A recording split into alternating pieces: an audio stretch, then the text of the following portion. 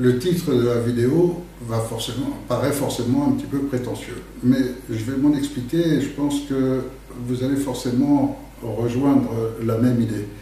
À savoir que le, le mouvement actuel des Gilets jaunes reflète une partie de la population française qui commence à s'éveiller aux réalités, c'est-à-dire à se rendre compte qu'on est très loin du concept de démocratie qu'on nous a fait croire quand on était petit ou à l'école, et qu'on est réellement dans un concept de dictature, de tyrannie, d'un système totalitaire. Seulement là où il y a quelque chose qui exige d'avoir beaucoup plus de connaissances et d'approfondir le sujet, c'est quand on se rend compte que ce concept ne vient pas des dirigeants. Car le principe est elle-même avec les dirigeants précédents, comme encore avec ceux d'avant, et ainsi de suite. Et donc à partir de ce moment-là, il faut, chercher à savoir ce qu'est la réalité. Or, dans, le, le, les mouvements actuels qui cherchent à s'exprimer politiquement, puisqu'ils voudraient prendre une position, une existence politique dans la nation, tels que les Gilets jaunes ou avant les Nuits debout ou encore avant les Indignés. C'est toujours le même euh, schéma, c'est toujours des gens qui se rendent compte qu'on leur a menti, qui se rendent compte qu'on euh, est dans un monde tout à fait injuste et qu'il s'y passe des choses tout à fait anormales par rapport à la notion de démocratie à laquelle on croyait. Et donc, le, ce qu'il faut, c'est euh, déterminer quel est le véritable problème. Si on s'attaque à un faux ennemi, on est à chaque fois sûr d'échouer. Et donc s'attaquer au gouvernement français, aux dirigeants actuels, euh, c'est complètement... on est sûr d'échouer. Ça, ça, ne peut pas aboutir parce que les vrais dirigeants ne sont pas eux. Et donc c'est seulement les gens qui vont vraiment approfondir, vraiment chercher à comprendre. Et pour ça, il faut lire une quantité d'ouvrages et de faire un tas de recherches, etc. Mais euh, ceux-là savent qu'il y a derrière eux un état profond, ce qu'on appelle l'état profond dans beaucoup de, langues, de pays, qu'on appelle aussi le nouvel ordre mondial, qui est en fait les vrais dirigeants. Avant, vous aviez Hollande, l'équipe Valls, Cazeneuve et tout ça, c'est exactement les mêmes que euh, les Sarkozy avant et les Macron maintenant. Mais tous ces gens-là, en revanche, euh, n'ont fait que passer. Ils sont passés, ils ont appliqué ce qu'on leur a demandé d'appliquer, à notre détriment, mais euh, ce n'est pas eux qui ont décidé quoi que ce soit, ce n'est pas eux qui décident de l'orientation générale. L'orientation générale, elle est décidée à beaucoup plus haut niveau par des gens d'un autre monde, d'une autre... Euh, comment dirais-je, qui ne sont même pas en France. La plupart du temps, ils sont aux États-Unis. Donc c'est vraiment l'état profond qui est utilisé à partir des États-Unis, qui gère l'état profond en France qu'on retrouve essentiellement dans la diplomatie, dans les services secrets et dans tous les membres permanents qui entourent les dirigeants, qui sont eux les vrais dirigeants, ceux qui viennent commander les autres. Par exemple, vous avez des gens comme Attali, comme BHL, euh, qui sont omniprésents tout le temps. Et vous en avez beaucoup d'autres dont les noms sont bien moins connus. Et ce, sont eux les, vrais représentants. Et eux, ce sont les hauts dignitaires de la franc-maçonnerie. Et donc, euh, tout le réseau, toute la machine administrative française est sous contrôle de la, franc-maçonnerie, parce qu'ils placent leurs membres. Pourquoi est-ce que le Conseil d'État euh, rend des décisions totalement aberrantes, comme l'histoire des vaccins tout récemment? Pourquoi est-ce que le Conseil constitutionnel laisse passer des lois totalement anticonstitutionnelles? Parce que c'est eux qui choisissent qui y mettre. Et donc, euh, euh, ce qu'on affronte, ce n'est pas un gouvernement, c'est une machine monstrueuse qui, depuis des décennies et des décennies, place ses pions au plus haut niveau dans tous les domaines. Et ceux-là ne sont pas élus, ceux-là, ils sont permanents. Et donc, ceux qui sont élus, ils le sont grâce à eux, et donc ensuite n'ont pas d'autre choix que de suivre les indications qu'on leur donne. Ce qui veut dire que c'est la machine qu'il faut affronter. Cette machine, elle porte un nom, c'est la République. C'est le système de la République. Or, cette République n'existe plus en France. Alors, il faut voir, et c'est pour ça qu'on ne peut comprendre et appréhender correctement les choses qu'à partir du moment où on a étudié les quatre aspects majeurs, c'est-à-dire l'aspect sociologique, l'aspect économique, l'aspect politique et surtout l'aspect juridique.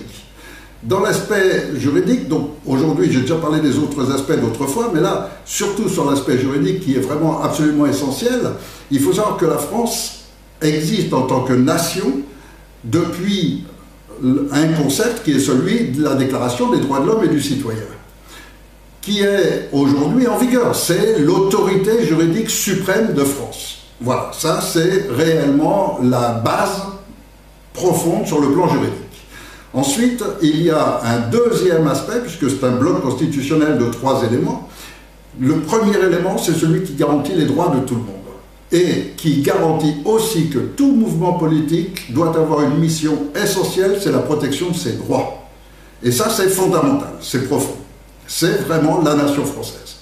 Ensuite, vous avez le préambule de 1946, qui non seulement établit cette déclaration des droits de l'homme et du citoyen comme étant la plus haute norme juridique de France, mais qui en plus apporte euh, un certain nombre d'éléments qui viennent protéger les droits au niveau non plus seulement de l'individu, mais au niveau d'un certain nombre de groupes, et en particulier un droit essentiel de l'ensemble de tous les citoyens français, non pas individuellement, mais en tant que peuple français, qui est celui de protéger leur patrimoine. C'est l'article 9 de ce préambule qui interdit toute privatisation qui garantit que tous les biens nationaux utiles à l'ensemble de la population, on va parler de l'eau, de l'énergie, on va parler de tout ce qui est le patrimoine national, tout cela appartient à l'ensemble de la population et par la loi française ne peut pas être privatisé. Donc, dès lors où déjà Mitterrand avait commencé les privatisations qui étaient illégales, prolongé ensuite par Chirac et puis Sarkozy, et puis ils en rajoutent de plus en plus. Et Hollande en a fait pas mal, et maintenant Macron va à fond pour liquider le reste qui reste en France. Seulement, c'est totalement illégal. Alors à partir du moment où on a cette conscience-là, cette connaissance, dès cet instant, on n'est plus du tout en train de revendiquer pour défendre nos droits. Maintenant, on est en train de revendiquer pour défendre la loi, pour exiger que la loi s'applique et aller consulter n'importe quel magistrat, n'importe quel avocat, n'importe qui, sur ce plan que je viens d'exprimer, que tout le monde peut constater. Il suffit d'ouvrir les droits de l'homme et puis de lire les. Dès cet instant-là, il y a violation de la loi. Alors ensuite, il y a le troisième élément. Le troisième élément, c'est la Constitution, celle qui a été écrite en 1958 et qui est appliquée depuis, qu'on appelle donc la Cinquième République. Seulement, cette Constitution est la seule a déterminé que la France doit être sous régime de république. Jamais vous ne trouverez le mot république dans les droits de l'homme ni dans le préambule, jamais. Il n'a jamais été prévu que ce serait le système politique qu'il faudrait appliquer. Ça, c'est ce qu'ont voulu la secte qui contrôle le pays, qui est la franc-maçonnerie et qui est une secte criminelle. Il ne faut pas chercher d'autres mots, il ne faut pas se faire croire que c'est une secte philanthropique rien. La mafia sicilienne, c'est pas une secte philanthropique, ce sont des criminels. La franc-maçonnerie, c'est exactement pareil, c'est une secte criminelle. Tous les trafics d'organes, tous les trafics de pédocriminels, la traite des humains, la, prostitution, tout ça, c'est contrôlé par la franc-maçonnerie. Et tout le trafic de drogue depuis euh, plus de 200 ans maintenant. Donc, il est clair qu'en mettant en place ce concept de république qui garantit que seuls les francs-maçons arrivent à tous les plus hauts postes, ils ont eu le temps de placer leurs pions à tous les niveaux. Et c'est pour ça qu'un conseil constitutionnel, par exemple, est dirigé par un Fabius. Rien qu'avec ça, vous savez ce qu'il vaut. Donc, euh, il est bien évident que euh, s'attaquer aux dirigeants eux-mêmes, ça, pas, ça ne changera strictement rien. Donc, tous les euh, arguments, toutes les revendications qui peuvent exister, que ce soit le Frexit, que ce soit le RIC, que ce soit n'importe quoi, tout cela, ça, ça va dans leur sens, dans, dans la mesure où ça maintient la République.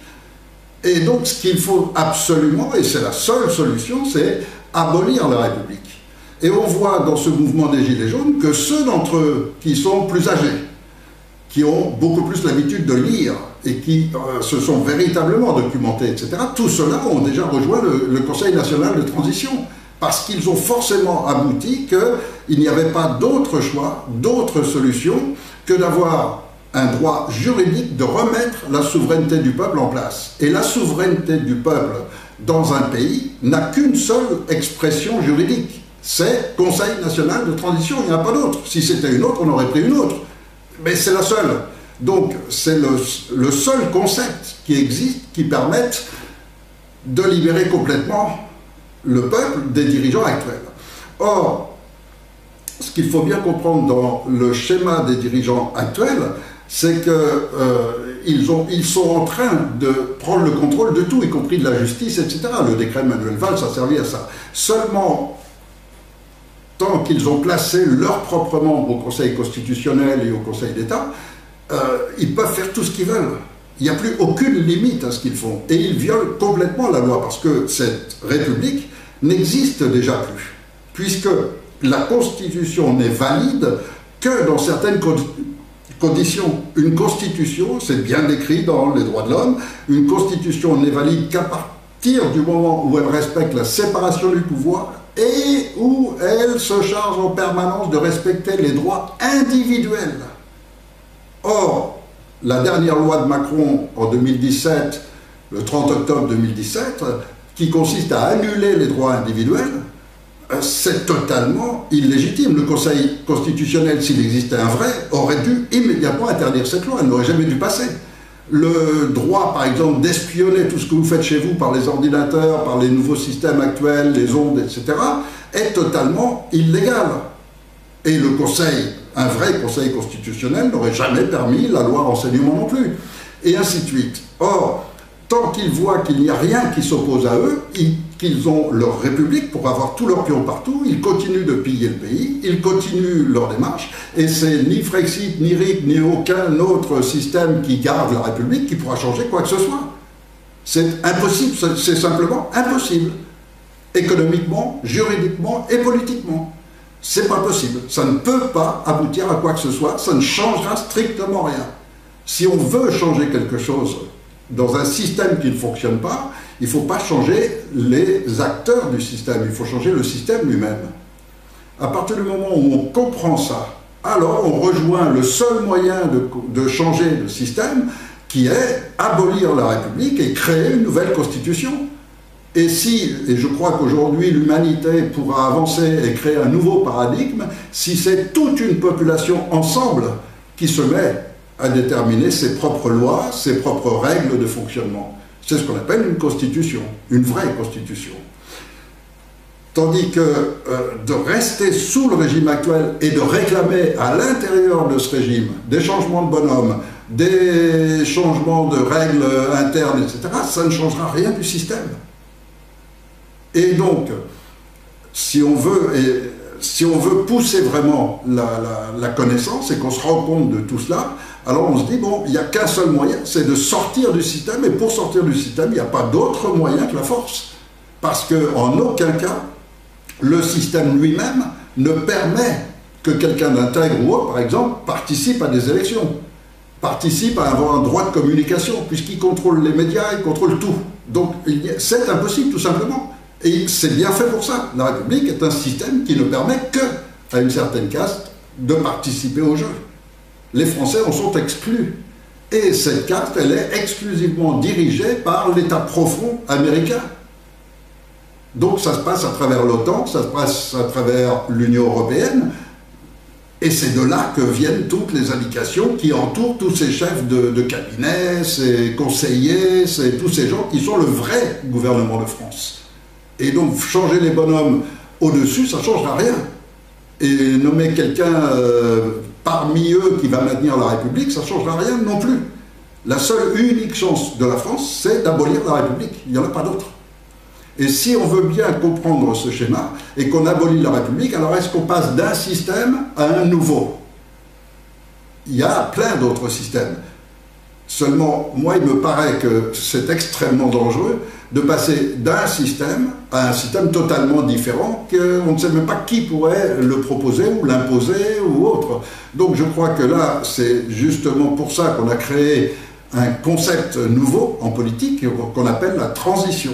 Et la transition, c'est une période dans laquelle on abolit la République, on suspend de leurs droits tous ces gens qui représentent l'État profond, et c'est tout l'ensemble du peuple lui-même qui rédige les nouvelles règles de fonctionnement. Et en attendant, c'est le peuple aussi lui-même qui mène la France et surtout qui euh, permet euh, de réagir au plus urgent. Les problèmes immédiats, c'est savoir exactement ce qu'il en est de cet État profond et à quel point il pille la France. Et pour l'instant, ceux qui ont fouillé dans le domaine économique ont découvert qu'il s'agissait de plusieurs milliers de milliards de dollars, d'euros chaque année. Milliers de milliards d'euros chaque année qui s'envolent en fumée dans les paradis fiscaux, etc., à travers tout leur réseau, qui est un réseau absolument gigantesque, qui couvre depuis les petites agences qui tournent autour de la NPE, celles qui tournent autour de tous les organes euh, de région, de, partout. La France est en pillage permanent, en plus des taxes, des impôts et de tout le reste. Donc, si on veut bien euh, considérer cela, il est certain que ces gens, en aucun cas, ils sont partis pour être des dictateurs absolus qui, pour l'instant, essayent de donner une autre apparence, mais leur vrai fond, c'est celui-là. Et donc, ils, ils font tout pour cela. Regardez comment ils utilisent la police, la gendarmerie, qui sont normalement des gens entrés pour défendre la loi, et à qui on demande de violer la loi, de ne respecter aucune règle et d'être véritablement une police gestapiste, une police politique, chargée de réprimer, d'écraser, d'établir la peur, de tout, encore quelques, il y a encore quelques jours, une personne qui a eu encore un œil crevé. Enfin, je veux dire, vous allez à une manifestation qui est un droit constitutionnel et vous avez en face de, vous des gens qui vont vous mutiler pour la vie. C'est, si on était dans un état de droit, euh, c'est totalement illégal. Et ceux qui ont donné les ordres, comme ceux qui ont provoqué euh, ces énucléations, euh, devraient être sous les barreaux déjà. Et en particulier ceux qui ont donné les ordres. Donc tout votre gouvernement n'existe plus. De même que cette euh, République, elle n'existe que par cet troisième élément du bloc constitutionnel, qui est donc la Constitution. S'il n'y a plus de Constitution, il n'y a plus de République. Or, la Constitution elle-même ayant été annulée, aujourd'hui, la France est sans gouvernement et la République n'a plus de validité. Ça, c'est purement juridique. Sur le plan strictement moral et social maintenant, de toute façon, est-ce qu'on accepte une tyrannie, une police totalitaire? Est-ce qu'on accepte le mode de fonctionnement dans lequel on est en train de vivre? C'est-à-dire tous de plus en plus appauvris pour que quelques-uns deviennent immensément riches. C'est un système qu'on refuse, que globalement la population refuse. Et donc qui veut rétablir un équilibre, qui veut rétablir la justice, parce que là aussi, on est rentré dans un système de justice totalement inversé, et ça correspond, encore une fois, à euh, ce fonctionnement qui est purement celui d'une secte satanique qui est la franc-maçonnerie. C'est le principe d'inversion. Le simple mot Satan, c'est un mot d'origine, euh, je ne sais plus si c'est araméen ou chaldéen, enfin j'en sais rien, mais c'est un mot extrêmement ancien, dont le sens à l'origine, c'est simplement le contraire de l'autre, l'opposé à l'autre, l'inverse. Et cet inverse, vous le constatez tous les jours. Hier, on défendait la santé, aujourd'hui, euh, aussi bien les enfants qui sont condamnés à plus de 500 000 euh, l'année dernière, d'enfants qui sont devenus autistes suite aux vaccinations, les personnes âgées qu'on plonge vite dans les EHPAD et qui curieusement décèdent à toute vitesse, etc. etc. Ça n'arrête pas. Sans parler qu'aujourd'hui en France, on a maintenant plus de 100 000 familles qui ont déposé plainte pour des enlèvements d'enfants, mais pas enlevés par des voyous qui vont demander une rançon, enlevés par l'ASE qui les met dans des réseaux ensuite, dont une bonne partie de ces enfants finissent dans les réseaux pédocriminels. Donc tout cela, c'est une véritable conscience qui est en train de toucher tout le monde, et même ceux dont les enfants n'ont jamais eu à subir ça, même ceux qui n'ont pas d'enfants, sont conscients que l'humanité ne peut pas fonctionner sur ce schéma. Et à partir de ce moment-là, il faut réagir. Donc l'appel qu'on a fait pour le 5 juillet euh, n'est pas du tout un appel à manifester. C'est un appel à reprendre le pouvoir, à ce que le peuple souverain reprenne ses pouvoirs et établisse une nouvelle constitution. Et donc pour cela, il y a euh, tout un programme, parce qu'il faut durant cette période un programme extrêmement strict, pas permettre justement qu'il y ait des nouveaux qui se mettent à prendre du pouvoir et à faire ce qu'ils veulent. Non, il faut un programme extrêmement strict et les gens les plus compétents, qui depuis des années travaillent là-dessus, ont établi ce programme. Pour que ce programme, qui que ce soit, de toute façon, le programme sera suivi précisément. Et tout le monde peut le lire, il est sur le site web. Donc, reprendre par la force la souveraineté du peuple et remettre par la force la démocratie et l'état de droit exige que nous ayons des forces armées. Donc on a créé par ce Conseil national de transition une Cour suprême puis remplacer ce Conseil constitutionnel qui n'existe pas réellement, Et on a créé une néopole pour que tous ces policiers et gendarmes qui aujourd'hui ne supportent plus d'être de subir des ordres qui les obligent à être complètement illégaux, en plus d'être immoraux et antisociaux, ce dont ils se rendent compte de plus en plus nombreux, eh bien, euh, ne démissionnez pas, ni rien du tout. Tombez malade pour le 5 juillet, de façon à être à rejoindre donc cette néopole qui sera de toute façon le futur de la France. Ce sera, si on sauve la France, il y aura une nouvelle police qui, aura un comportement, une attitude vis-à-vis de la population qui sera totalement contraire à celle qu'elle est actuellement. Tout ce qui est contrôle arbitraire, tout, tout ça disparaîtra parce que c'est illégal. Et ce n'est pas ce dont les Français veulent.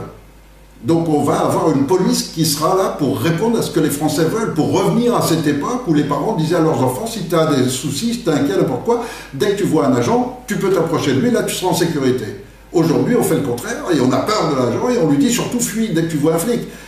Euh, bon, il est temps de revenir maintenant à l'époque où la police représente la droiture, représente la justice, le vrai. Et revenir à cette époque, c'est essentiel et vital pour tout le monde. Et donc on a créé une néopole, une nouvelle police. On lui a donné ce nom.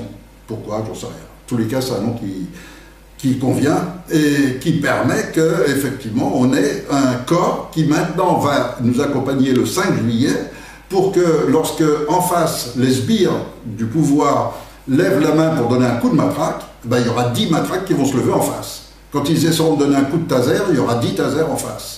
Lorsqu'ils essaieront de tirer au flashball, il y aura 10 flashballs en face. C'est-à-dire qu'on va arriver avec tout ce qu'il faut, et s'ils, parce que c'est encore illégal, mais ils l'ont fait, de mettre en place une loi autorisant maintenant de tuer les manifestants, donc de tirer à balles réelles dessus, alors on aura aussi ce qu'il faut pour ça.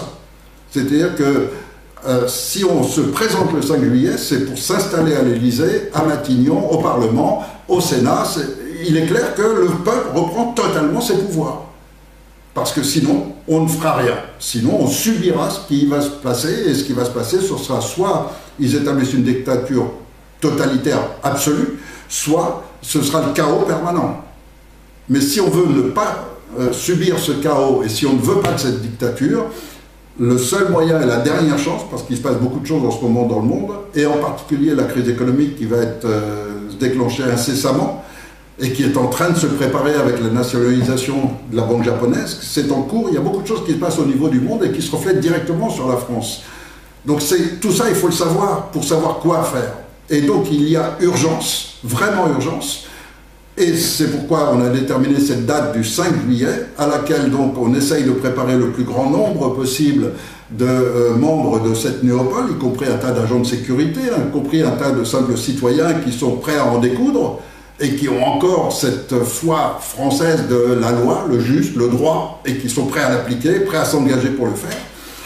Et donc, euh, je crois que je qu'on va être de plus en plus nombreux à se rendre compte de tout cela, parce que pendant ces deux mois qui restent encore, eh bien, sur tous les ronds-points, etc., il y a de plus en plus maintenant de gilets jaunes qui éduquent les autres.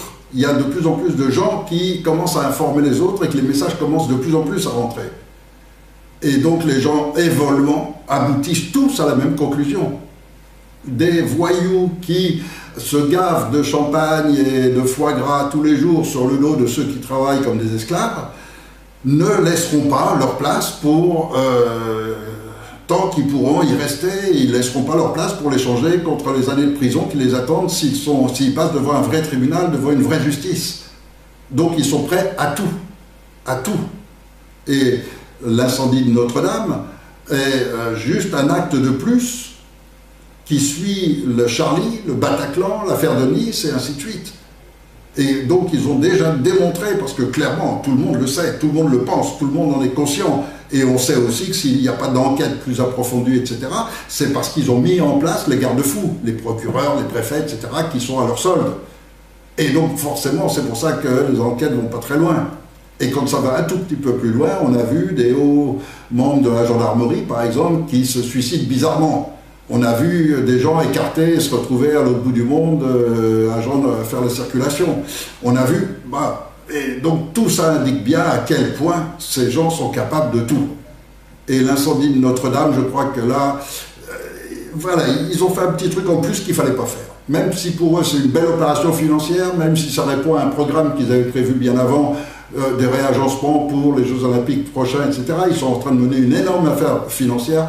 Je crois qu'ils n'auraient pas dû toucher à ce symbole national et que là, ils ont fait une grosse erreur parce que tout le monde est bien conscient que euh, ça ne peut pas être autrement que par leur volonté qu'il y a eu cette, cette opération qui a été montée par eux-mêmes.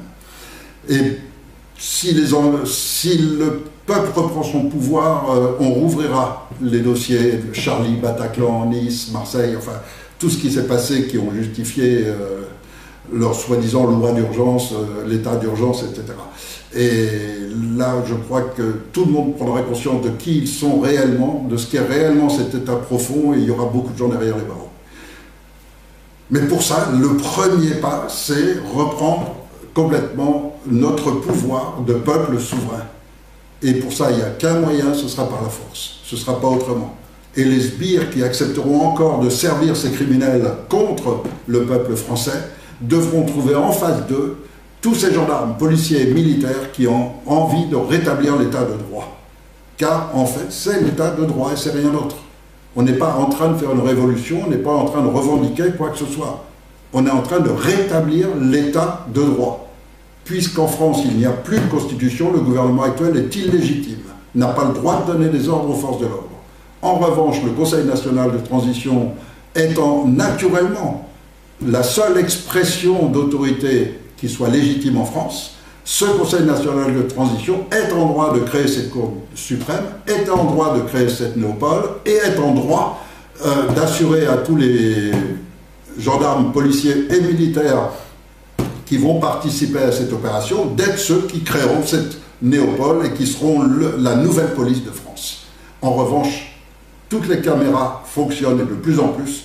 On a des listes absolument énormes de tous ces policiers, gendarmes et autres qui aujourd'hui acceptent de servir de sbires pour des criminels. Et cela, euh, bien sûr, passeront devant les tribunaux parce qu'on n'a pas le droit de mutiler des Français euh, sur ordre. Ça veut dire qu'on est vraiment le mercenaire capable de tout. Et ces gens-là, eh bien, ils ne sont pas dans un état de droit. Et donc, ils seront euh, passés en jugement également. Voilà, je ne sais pas si à chaque fois j'essaye d'expliquer quelle est la situation réelle juridique de France, mais j'invite vraiment tout le monde à relire les droits de l'homme et à regarder si le gouvernement actuel répond aux normes de la plus haute norme hiérarchique de France. Parce que c'est votre pays, c'est votre nation. Et donc, euh, vous vivez dans le pays des droits de l'homme avec ce symbole de pays des libertés, et tout est décrit dans, euh, dans ce petit texte de 1789 qui indique tout ce que sont vos droits et les conditions dans lesquelles une constitution est légitime. Et donc en lisant simplement ça, vous voyez immédiatement que tout ce que je viens de vous dire, ben, c'est une évidence. Et il n'y a pas besoin de consulter des magistrats ou quoi, tout le monde le sait. Et si aujourd'hui même les avocats sont réprimés à ce point-là et qu'ils ne peuvent plus euh, beaucoup l'ouvrir et qu'eux-mêmes sont parfois menacés, etc., c'est pas sans raison. C'est parce qu'il faut faire taire tout le monde. Et on ferme les, sites des dissidents et, et tout le monde est en danger.